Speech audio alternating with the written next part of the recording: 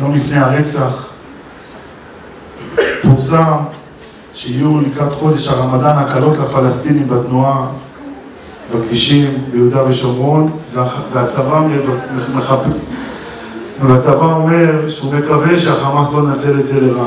אז הנה, עוד פעם עבדו עלינו. ואני קורא לשר הביטחון, לא יכול להיות שהילדים שלנו לא יכולים להסתובב בארץ ישראל בזמן שהם חוגגים. צריך לסגור ולסגר את כל יהודה ושומרון.